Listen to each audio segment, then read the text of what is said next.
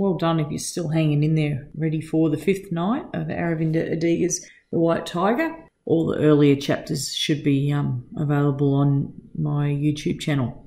Okay, thankfully, after that last chapter, this one's actually quite a short one, and it's actually interesting because it um, finishes quite abruptly as something happens, and Balram is called away from his um, letter that he's writing to Premier Jiabao. So, like I did with the previous video, I've just gone through and written up a summary of what happens in the chapter. I'll quickly run through that and then I'll read the chapter with discussion and highlighting of quotes. Okay, so the chapter actually launches straight into explaining one of the key concepts of the novel, the rooster coop. The idea of the rooster coop is that those at the bottom, the servants of India, do not rebel against the system. They are trustworthy with large amounts of money, they won't steal it. The entire economy of India rests on that idea and that servants will accept their situation no matter how appallingly they're treated. And Adiga or Balram suggests that you know the whole Indian economy rests on this idea of the rooster coop that keeps the servants under control. Why do they stay in the coop? Well, he goes on to explain that they are trapped in the coop because of the power of the Indian family, because breaking out of the coop, disobeying the rules, would involve sacrificing one's family. Balram himself uh, is quite clear that he is trapped in the coop himself. I've just changed the spelling of, of coop there. He's, um, Balram is uh, trapped in the coop as uh, he's contemplating prison, uh, but he doesn't rebel against it. So he sits down in the basement of Buckingham Towers number B, but doesn't run away or rebel, even as he's aware that his employers and grandmother are plotting to send him to prison. The story then uh, continues with what happens to Balram in that moment, and he describes being, you know, being called upstairs by his employers.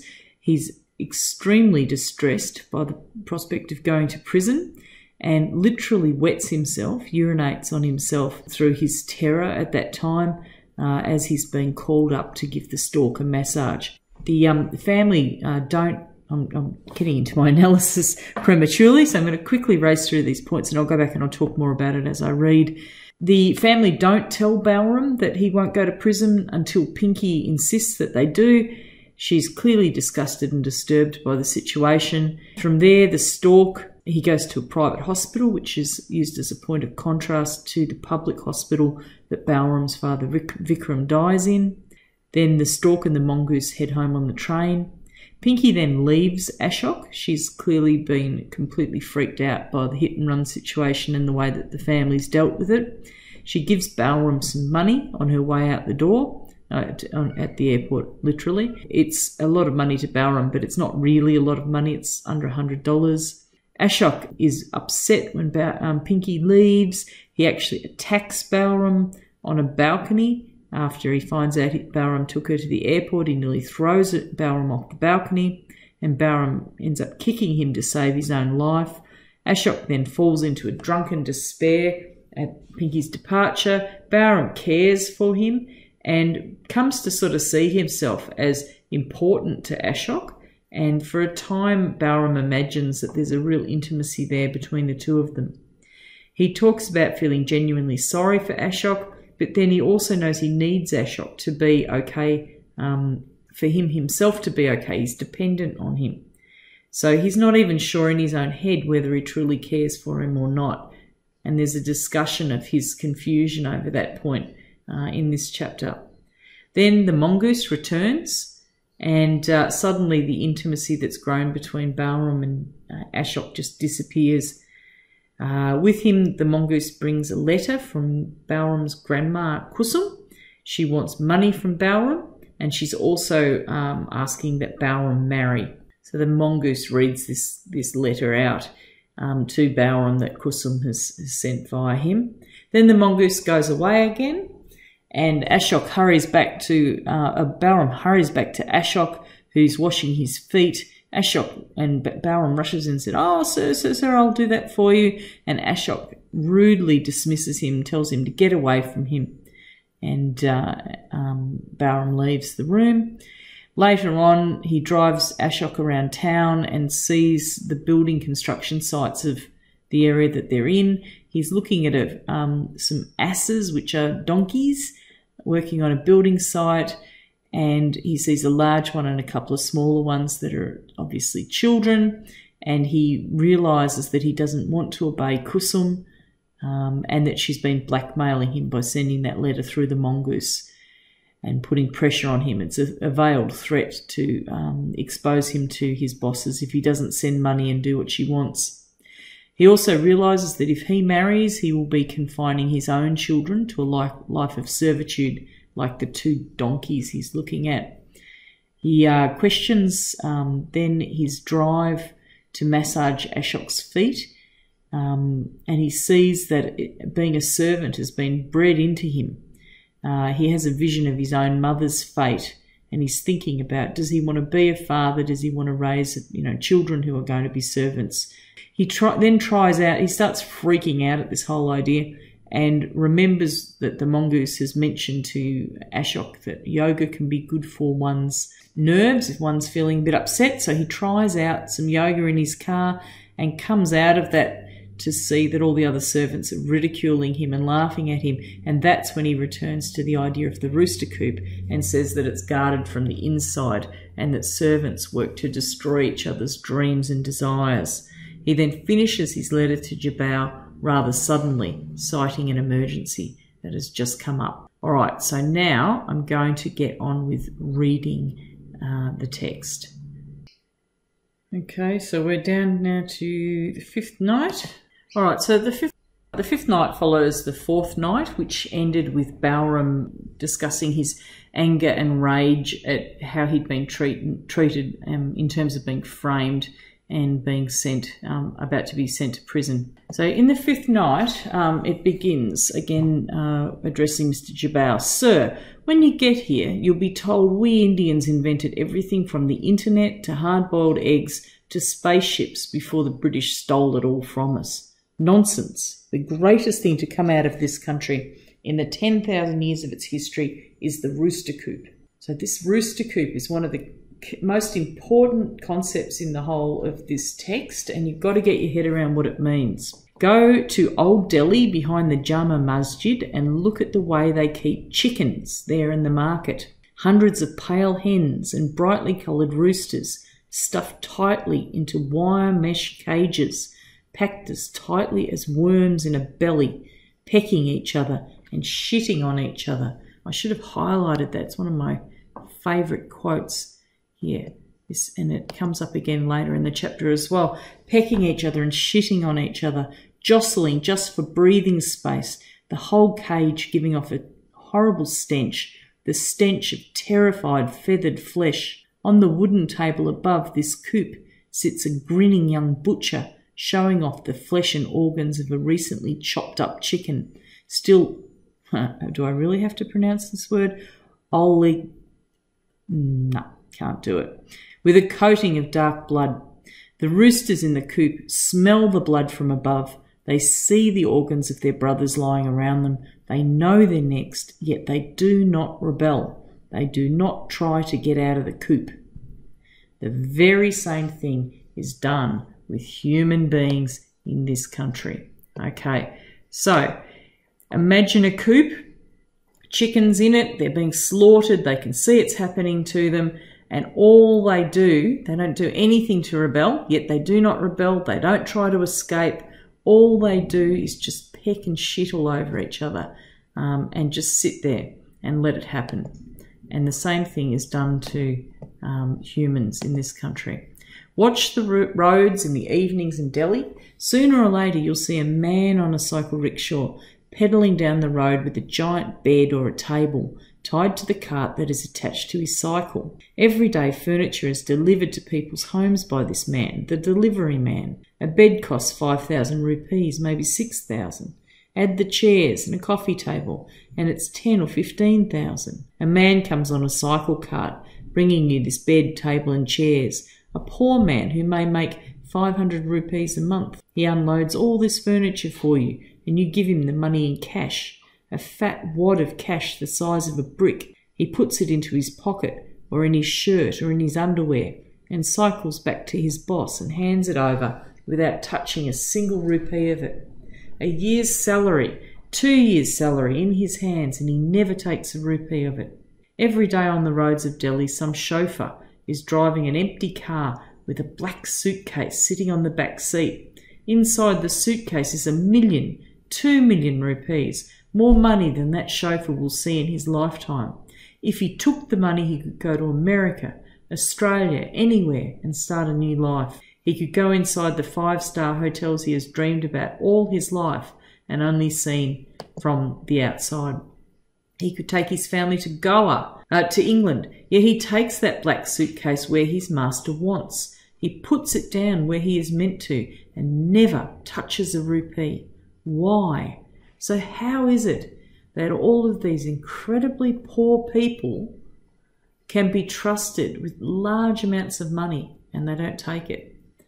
And uh, Balram asks, is it because Indians are the world's most honest people, like the Prime Minister's booklet will inform you?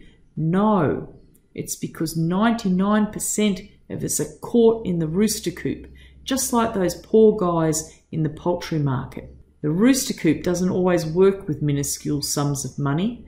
Don't test your chauffeur with a rupee coin or two. He may well steal that much, but leave a million dollars in front of a servant and he won't touch a penny. Try it. Leave a black bag with a million dollars in a Mumbai taxi. The taxi driver will call the police and return the money by the day's end. I guarantee it. Whether the police will give it to you or not is another story, sir. Masters trust their servants with diamonds in this country. It's true. Every evening on the train out of Surat, where they run the world's biggest diamond cutting and polishing business, the servants of diamond merchants are carrying suitcases full of cut diamonds that they have to give to someone in Mumbai. Why doesn't that servant take the suitcase full of diamonds? He's no Gandhi. He's human. He's you and me but he's in the rooster coop. The trustworthiness of servants is the basis of the entire Indian economy. The great Indian rooster coop. Do you have something like it in China um, too, Mr. Jiabao? I doubt it, Mr. Jiabao, or you wouldn't need the Communist Party to shoot people and a secret police to raid their houses at night and put them in jail like I've heard you have over there. Here in India, we have no dictatorship, no secret police. That's because we have the coop. So he's describing how two diff entirely different societies control their population. The Chinese system, um, there is a secret police and communist party to control things, put them in jail, and here we have the rooster coop. Never before in human history have so few owed so much to so many, Mr. Jiabao a handful of men in this country have trained the remaining 99% as strong, as talented, as intelligent in every way to exist in perpetual servitude, a servitude so strong that you can put the key of his emancipation in a man's hand and he'll throw it back to you with a curse. And this word emancipation, it means it means freedom. So if you're emancipated, you're free. Okay? So, different system. The Chinese system operates with force, and the Indian system operates as kind of an ideological thing. Somehow the servants have been mentally trained not to steal. You'll have to come here and see it for yourself to believe it. Every day, millions wake up at dawn, stand in dirty, overcrowded buses, get off at their masters' posh houses, and then clean the floors, wash the dishes, weed the garden, feed their children, press their feet, all for a pittance. I will never envy the rich of America or England, Mr. Jiabao. They they have no servants there. They cannot even begin to understand what a good life is. Now, a thinking man like you, Mr. Premier, must ask two questions. Why does the rooster coop work? How does it trap so many millions of men and women so effectively? So I'm just going to get that trap. So uh, millions of men and women so effectively. Secondly, can a man break out of the coop? What if one day, for instance, a driver took his employer's money and ran? What would his life be like? I will answer both questions for you, sir. The answer to the first question is that the pride and glory of our nation, the the repository of all our love and sacrifice, the subject of no doubt considerable space in the pamphlet that the Prime Minister will hand over to you. The Indian family is the reason we are trapped and tied to the coop. Now, before we read on, why do you think the Indian family traps the servants in this system where they do their work, they don't question it, they don't disobey, they don't steal, they don't run away, they don't rebel? Why does the family hold them there? The answer to the second question, the second question being, can a man break out of the coop? The answer to the second question is that only a man who is prepared to see his family destroyed, hunted, beaten, burned alive by the masters, can break out of the coop. That would take no normal human being but a freak, a pervert of nature. These quotes here, really significant here. It would, in fact, take a white tiger. Remember, the white tiger is a once in a generation, a, uh, a rare and unusual creature.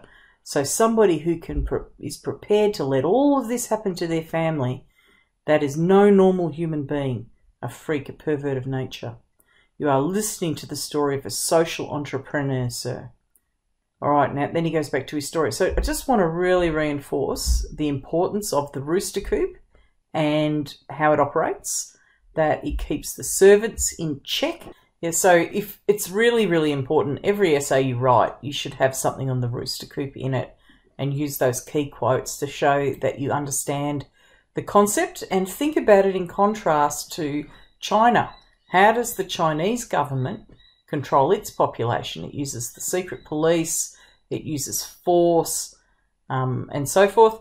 The Indian economy, the Indian society, it controls its servants by um, uh, mentally controlling them, that they know that if they break the rules, um, that their family will be, you know, paying the penalty for it. Okay, he goes back to his story. There's a sign in the National Zoo in New Delhi near the cage with the white tiger which says, Imagine yourself in the cage. When I saw that sign, I thought, I can do that. I can do that with no trouble at all. For a whole day, so now he's, he's shifting back to how he felt after uh, he found out he was going to prison for Pinky Madam and uh, Pinky Madam's hit run. For a whole day I was down there in my dingy room, my legs pulled up to my chest, sitting inside the mosquito net, too frightened to leave the room. No one asked me to drive the car, no one came down to see me. My life had been written away. Great quote there. I was to go to jail for a killing I had not done. I was in terror and yet not once did the thought of running away cross my mind. Not once did the thought, I'll tell the judge the truth, cross my mind. I was trapped in the rooster coop.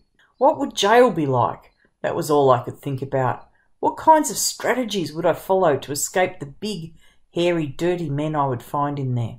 I remembered a story from Murder Weekly in which a man sent to jail pretended, pretended to have AIDS so that no one would bugger him. Where was that copy of that magazine? If only I had it with me now, I could copy his exact words, his exact gestures. But if I said I had AIDS, would they assume I was a professional bugger and bugger me even more? I was trapped. Through the perforations of my net, I sat staring at the impressions of the anonymous hand that had applied the white plaster to the walls of the room. Country mouse! Vitiligo lips had come to the threshold of my room. Your boss is ringing the bell like crazy. I put my head on the pillow. He came into the room and pressed his black face and pink lips against the net. Country mouse, are you ill? Is that typhoid, cholera, dengue? I shook my head. I'm fine. Good to hear that. With a big smile of his diseased lips, he left. I went up like a man to his hanging, up the stairs and into the apartment building, and then up the elevator to the thirteenth floor. The mongoose opened the door. There was no smile on his face this time, not a hint of what he had planned for me. You took your time coming. Father is here. He wants to have a word with you. My heart raced. The stork was here. He would save me. He wasn't useless like his two sons. He was an old fashioned master. He knew he had to protect his servants. He was on the sofa with his pale legs stretched out. As soon as he saw me, his face broke open into a big smile, and I thought, he's smiling because he saved me. But the old landlord wasn't thinking of me at all. Oh no, he was thinking of things far more important than my life. He pointed to those two important things. Ah, Balram, my feet need a really good massage. It was a long trip by train. My hand shook as it turned on the hot water tap in the bathroom. The water hit the bottom of the bucket and splashed all over my legs, and when I looked down I saw that they were almost rattling. A trickle of urine was running down them, and I've highlighted this quote here because I think this this period, Balram, the way he's feeling here is he's absolutely terrified. And um, Adiga shows us that with, with, with this, this involuntary, you know, he's literally wetting himself um, in this situation. A minute later, a big smile on my face, I came to where the stork was sitting and placed the bucket of hot water near him. Put your feet in, sir. Oh, he said, and closed his eyes. His lips parted, and he began to make little moans, sir, and the sound of those moans drove me to press his feet harder and harder. My body began rocking as I did so, and my head knocked the sides of his knees. The mongoose and Mr. Ashok were sitting in front of a TV screen playing a computer game together. The door to the bedroom opened and Pinky Madam came out. She had no makeup on and her face was a mess. Black skin under her eyes, lines on her forehead. The moment she saw me, she got excited. Have you people told the driver? The stork said nothing. Mr. Ashok and the mongoose kept playing the game. Has no one told him? What a fucking joke. He's the, own, he's the one who's going to jail. Mr. Ashok said, I suppose we should tell him. He looked at his brother, who kept his eyes on the TV screen. The mongoose said, Fine. Mr. Ashok turned to me. We have a contact in the police. He's told us that no one has reported seeing the accident, so your help won't be needed, Balram.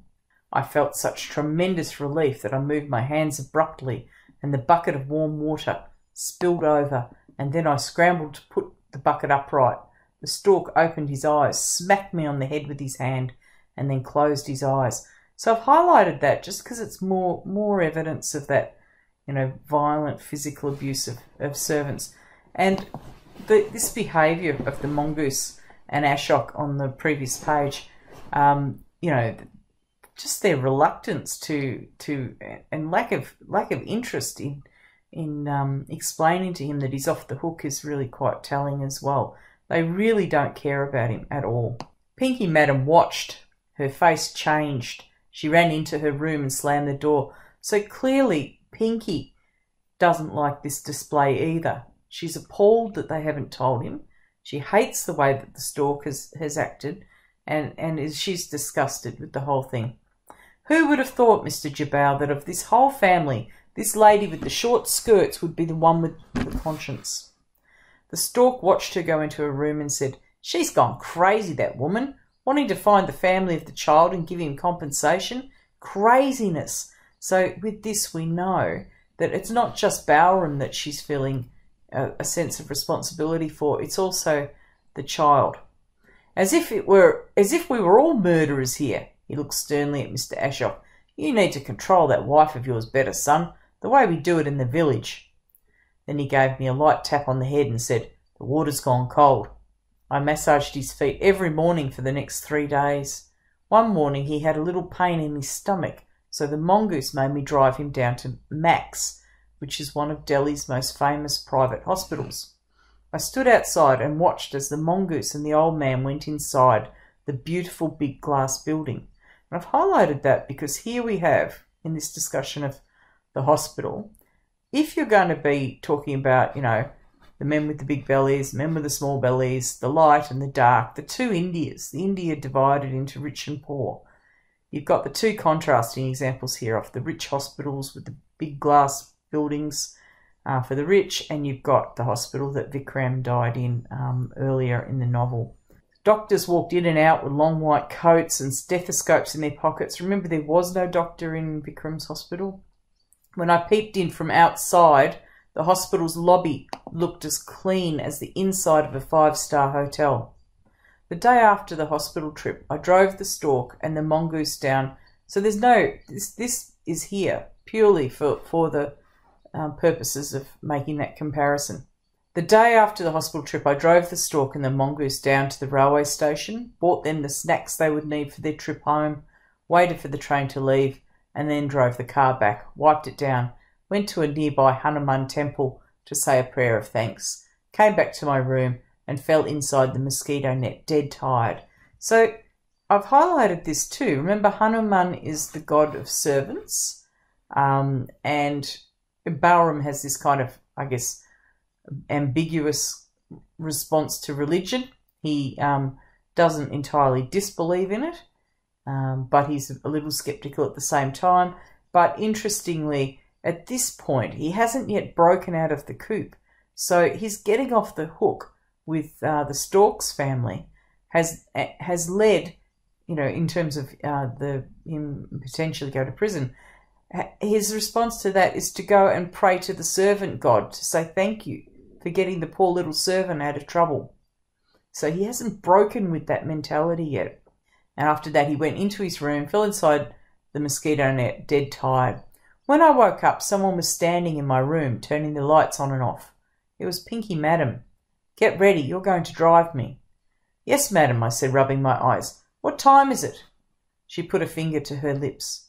I put on a shirt and then got the car out and drove it to the front of the building. She had a bag in her hand. Where to? I asked. It was two in the morning. She told me and I asked, Isn't Sir coming? Just drive. I drove her to the airport. I asked no questions. When she got out at the airport, she pushed a brown envelope into my window, then slammed her door and left. And that was how, Your Excellency, my employer's marriage came to an end. Other drivers have techniques to prolong the marriages of their masters. One of them told me that whenever the fighting got worse, he drove fast so they would get home quickly. Whenever they got romantic, he let the car slow down. If they were shouting at each other, he asked them for directions. If they were kissing, he turned the music up. I feel some part of the responsibility falls on me that their marriage broke up while I was the driver. The following morning, Mr. Ashok called me to his apartment. When I knocked on the door, he caught me by the collar of my shirt and pulled me inside. Why didn't you tell me? he said, tightening his hold on the collar, almost choking me. Why didn't you wake me up at once? Sir, she said, she said. He grabbed me and pushed me against the balcony of the apartment. The landlord inside him wasn't dead after all. So here, this is 13 flights up, and he's pushing him against the balcony. Why did you drive her there, sister fucker?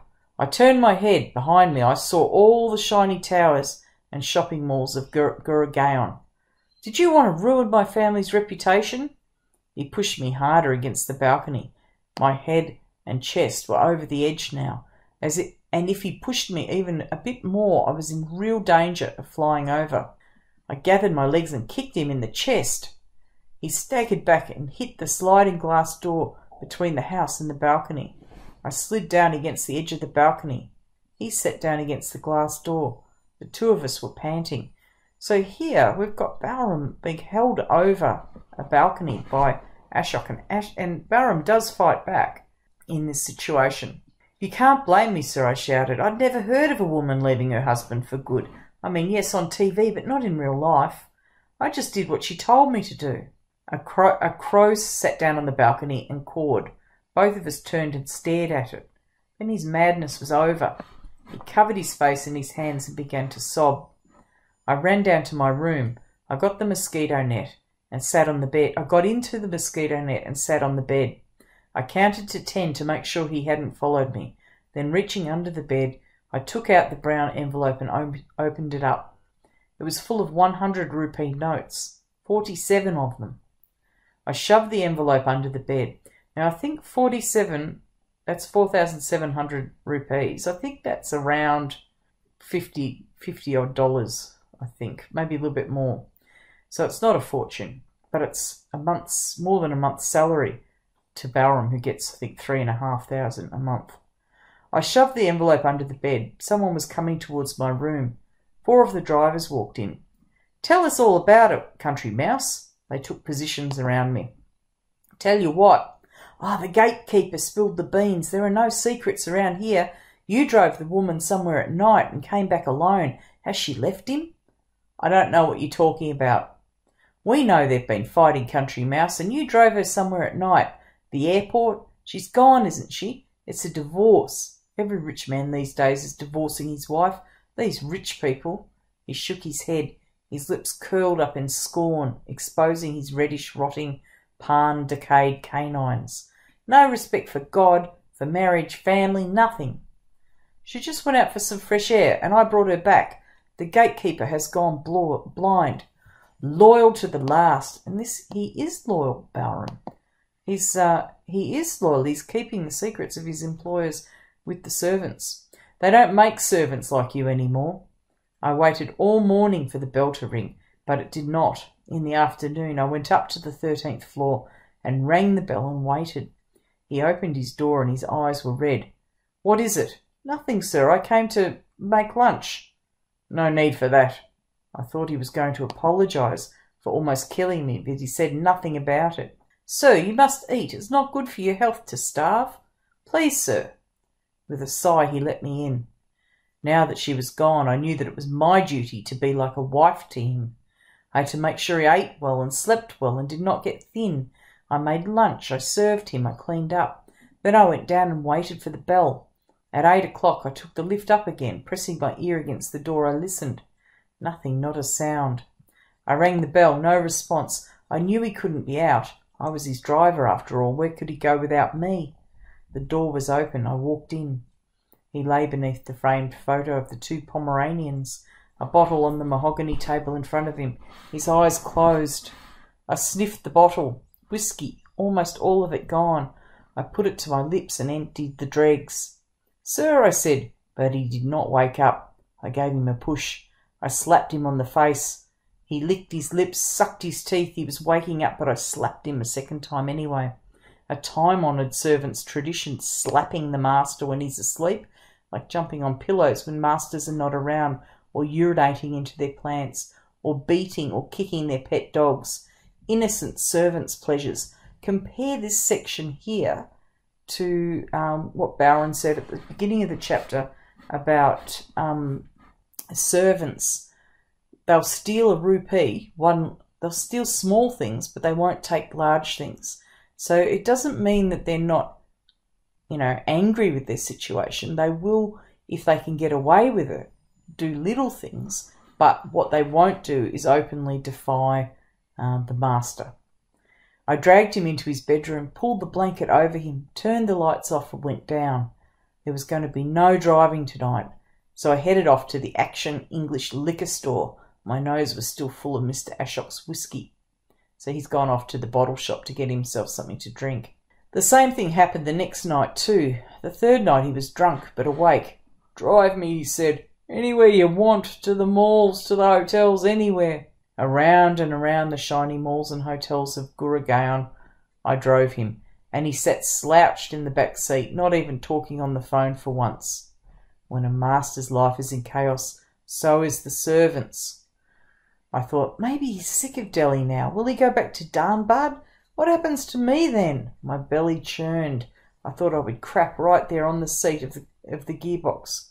If Ashok, his, you know, Ashok, if Ashok falls apart or you know goes back home, Balram's not potentially not going to have a job. Stop the car, he said.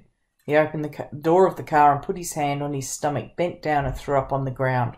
I wiped his mouth with my hand and helped him to sit down by the side of the road. The traffic roared past us. I patted his back. There's a lot of details here of how Balram looks after Ashok, um, how how much he you know treats him like a family member, um, or you know he says earlier he's meant to be like a wife to him. It's very personal the care that he gives him in this section. You're drinking too much, sir. Why do men drink, Balram? I don't know, sir. Of course, in your caste you don't. Let me tell you, Balram, men drink because they are sick of life. I thought caste and religion didn't matter any longer in today's world. My father said, No, don't marry her. She's of another. I. Mr. Ashok turned his head to the side and I rubbed his back, thinking he might throw up again, but the spasm passed. Sometimes I wonder, Balram, I wonder what's the point of living. I really wonder. The point of living? My heart pounded. The point of your living is that if you die, who's going to pay me three and a half thousand rupees a month? You must believe in God, sir. You must go on. My granny says that if you believe in God, then good things will happen. That's true, it's true. We must believe, he sobbed. Once there was a man who stopped believing in God, and you know what happened? What? His buffalo died at once. I see, he laughed. I see. Yes, sir, it really happened. The next day he said, God, I'm sorry, I believe in you, and guess what happened? His buffalo came back to life? Exactly. He laughed again. I told him another story, and this made him laugh some more. Has there ever been a master servant relationship like this one? He was so powerless, so lost, and my heart just had to melt. Whatever anger I had against him for trying to pin Pinky Madam's hit and run killing on me passed away that evening. That was her fault. Mr. Ashok had nothing to do with it. I forgave him entirely. So I've just highlighted these quotes to show, you know, how he's beginning to feel that he's building a relationship with Ashok. I talked to him about the wisdom of my village. So this is kind of a little bit, um, he's being a little bit sarcastic here uh, because he's not, he's made, he makes things up as he did earlier with the, you know, pretending to, to pray and so forth. Um, half repeating things I remembered Granny saying and half making things up on the spot. And he nodded. It was a scene to put your mind, put in your, it was a scene to put you in mind of that passage in that Bhagavad Gita when our Lord Krishna another of history's forgotten chauffeurs, drives the chariot he is driving and gives his passengers some excellent advice on life and death. Like Krishna, I philosophized, I joked, I even sang a song, all to make Mr. Ashok feel better. Baby, I thought, rubbing his back as he heaved and threw up one more time. You big pathetic baby. So this is really complex, this discussion, Balram's he's in two minds. He's kind of looking down on Ashok at the same time as he's becoming excited about their growing relationship. It is a very complicated, contradictory um, description of their relationship. And if you're going to discuss it, you should be really open about that and talk about the complexity of the relationship and about Balram's own confusion about his own feelings at this stage um, of, of the of the story. I put my hand out and wiped the vomit from his lips, and cooed soothing words to him. It squeezed my heart to see him suffer like this, but where my genuine concern for him ended, and where my self interest began, I could not tell. No servant can ever tell what the motives of his heart are. And that's because the servants are so dependent on the masters. Do we loathe our masters behind a facade of love, or do we love them behind a facade of loathing? We are made we are we are made mysteries to ourselves by the rooster coop we are locked in. So significant section there that you can use to discuss complexity here and also that Balram himself is not 100% sure how he feels. The next day I went to a roadside temple in Gurgaon. I put a rupee before the two resident pairs of divine asses and prayed that Pinky Madam and Mr. Ashok should be reunited and given a long and happy life together in Delhi. And remember that this praying he's doing, this is his own, he's doing this himself. So it is evidence of of some, you know, religious feeling that he has.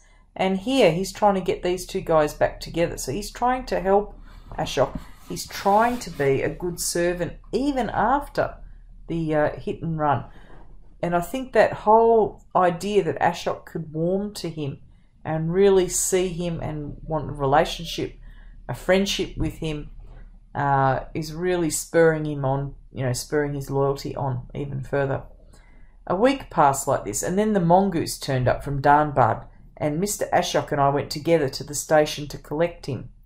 The moment he arrived, everything changed for me. So I've highlighted that.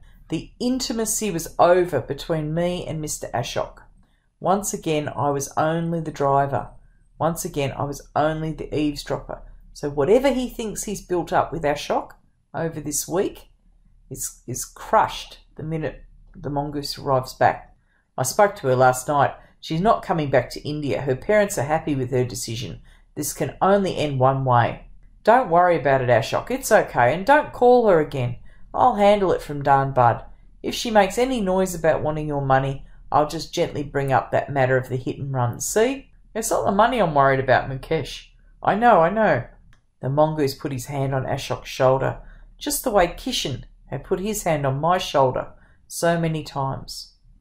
We were driving past a slum, one of those series of makeshift tents where the workers at some construction site were living. The mongoose was saying something, but Mr. Ashok wasn't paying attention. He was looking out of the window. My eyes obey- obeyed his eyes. I saw the silhouettes of the slum dwellers close to one another inside the tents.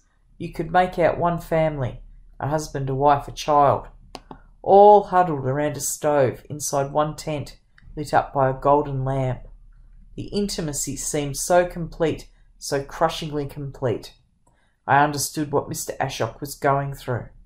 So, what does he mean here? I understood what Mr. Ashok was going through. I don't know what he means there.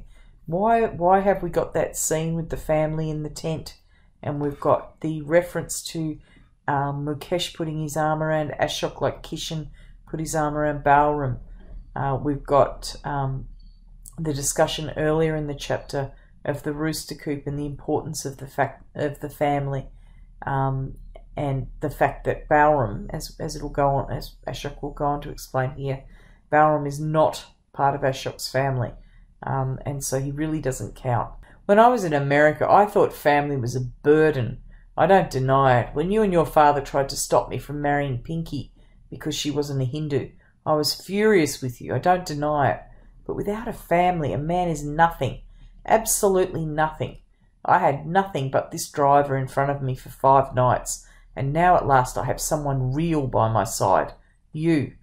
So, this is Ashok, who's an outsider to Indian culture, talking about the importance of family.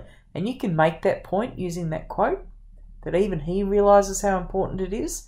Balram doesn't say how he's feeling here, but you can imagine, given the contrast between, you know, how he was feeling, hearing, you know, believing that Ashok was coming to like him versus, you know, um, nothing but this driver. At last, I have someone real by my side. He must have been crushed by this.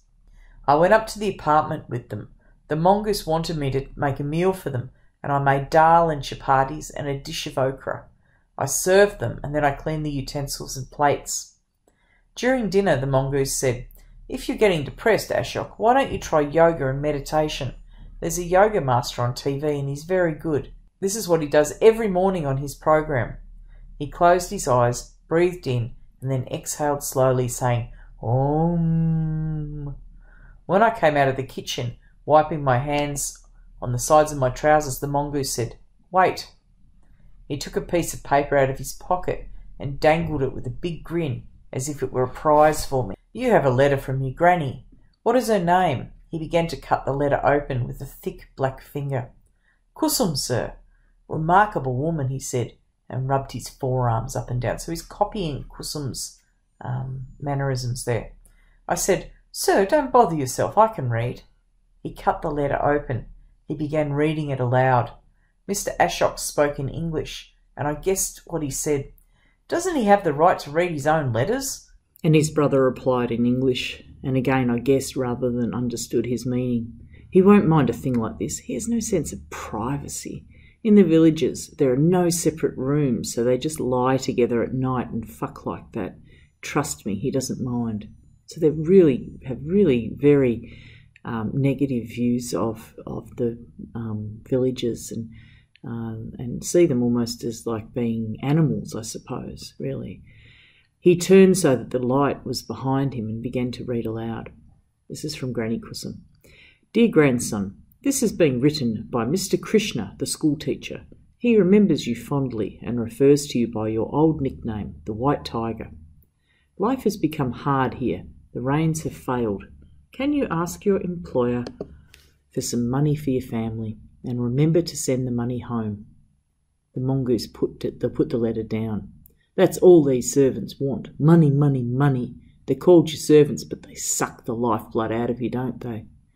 So um, just highlighted those quotes for you know, if you wanted to illustrate the landlords and their attitudes to the servants, and um, that these would be good quotes to use, and, and just how uh, ridiculous it is that the servants' situation is they're so impoverished, um, have so little power, and yet uh, and yet the attitude of people at the mongoose is that they are trying to suck the lifeblood out of the landlords, which is quite frankly ridiculous.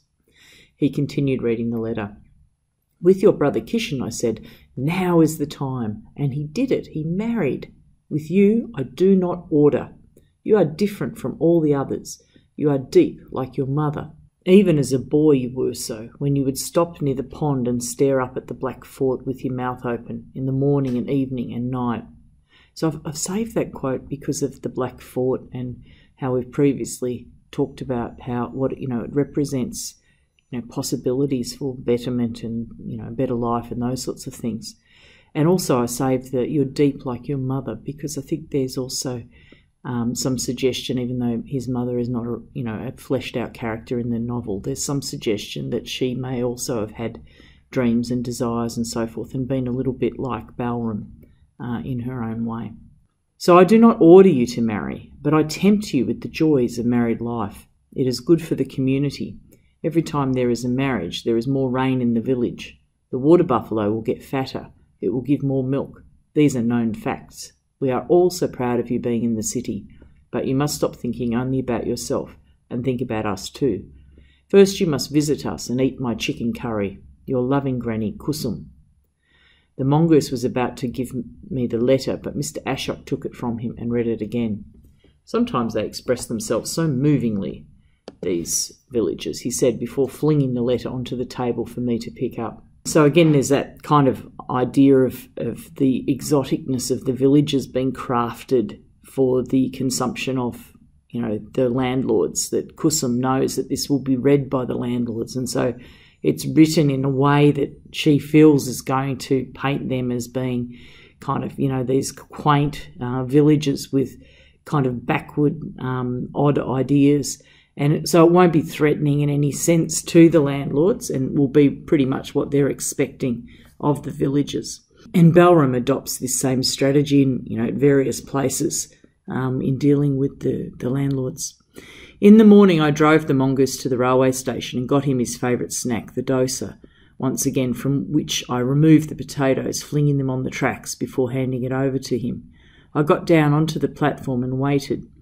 He chomped on the dosa in his seat, sat down uh, down below on the tracks, and Mouse nibbled on the discarded potatoes.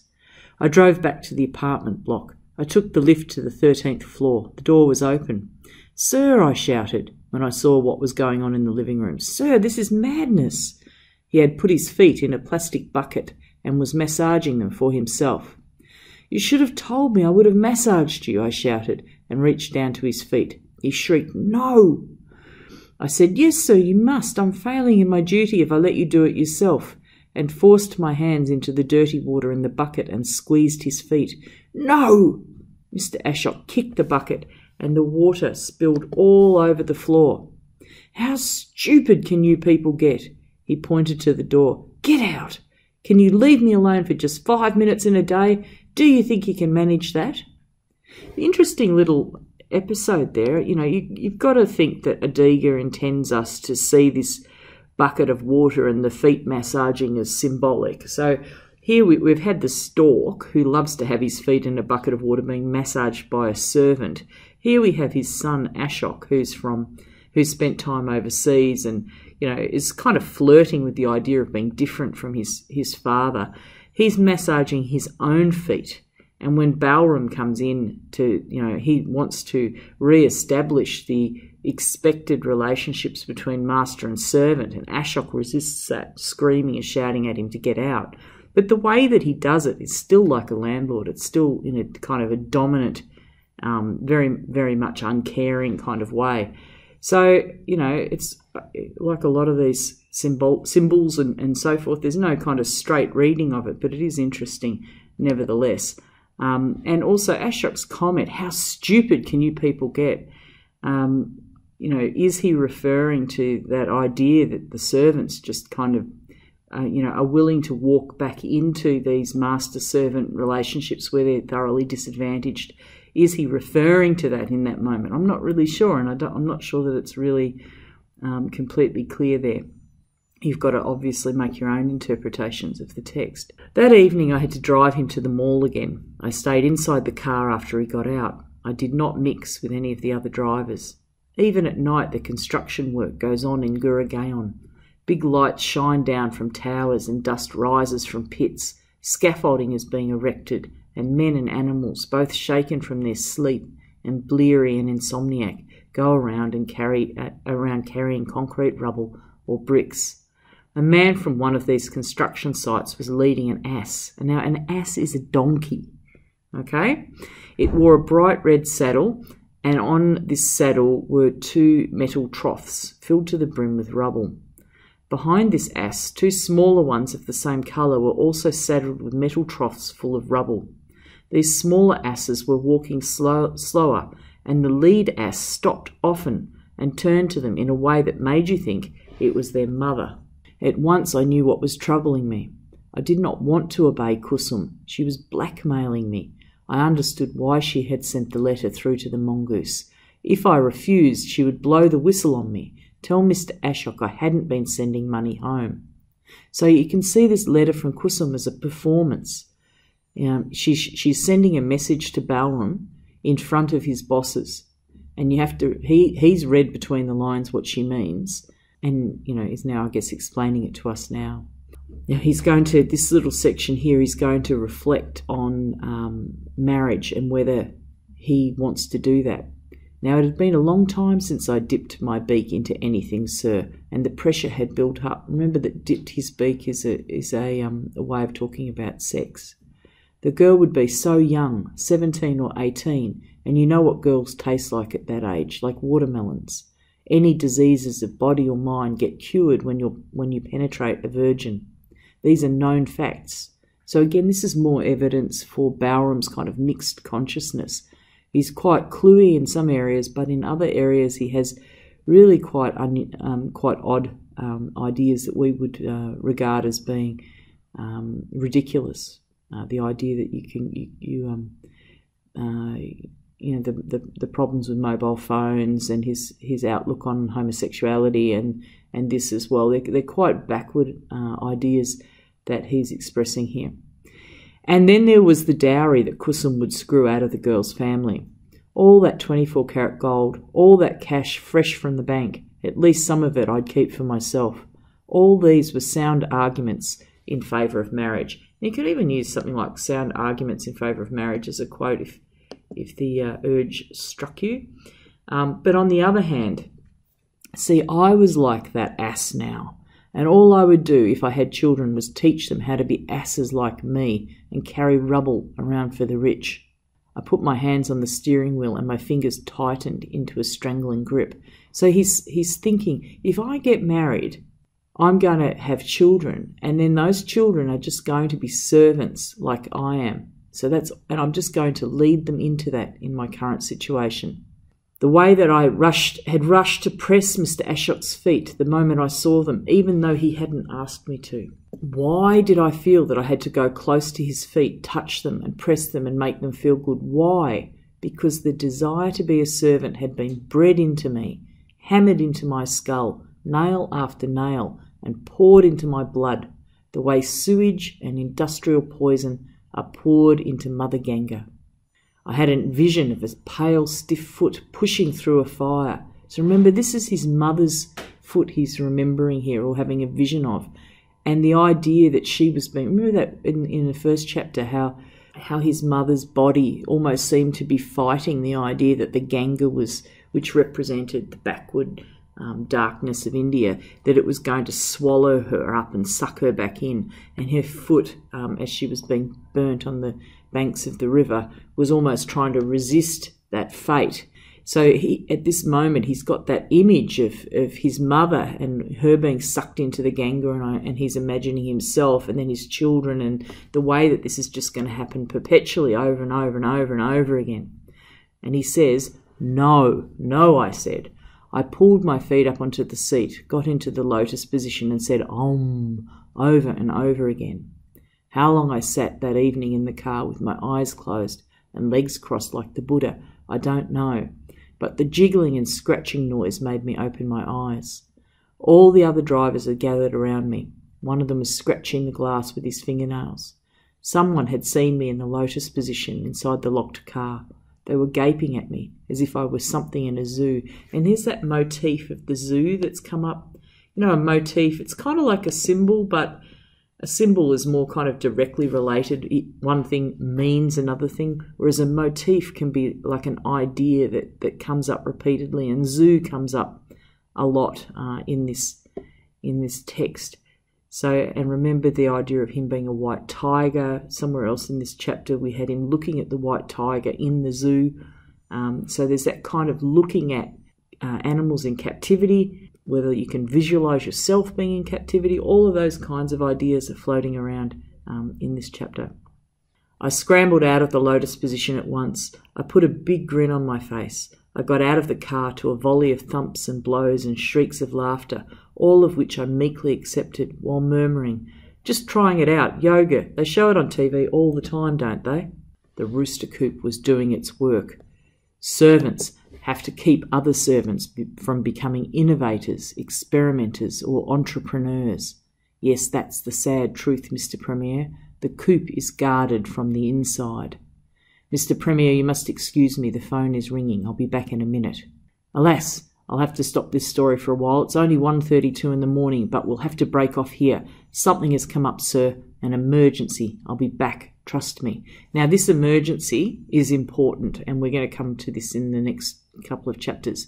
It's significant what stopped him uh, talking to Mr. Jiabao in this moment. But I just want to go back to this uh, thing about uh, the rooster coop doing its work. Servants have to keep other servants from becoming innovators, experimenters, or entrepreneurs. That's the sad truth. The coop is guarded from the inside. This is similar to the family. Both other servants and the family both put fetters on the ability of other people uh, from the lower classes of India to be able to make any changes in their life. So the servants police uh, everything that's going on um, in India. Now, just going to finish up this chapter here just making a couple of points. This chapter is really about the rooster coop and it's about the impact of family, uh, both uh, Ashok's family and uh, relations within it, and also Balram's family and how the family works to constrain people and keep them under control, um, but also Balram's kind of growing realization that his family is uh, not there to help him but is in fact using him and if he doesn't do something, he's going to end up creating children himself that will perpetuate and continue the situation for generations to come. He'll end up like the asses leading the other asses, um, working for the rich. Okay, I'm going to finish up there. So uh, I hope that uh, hope that's of some use to you.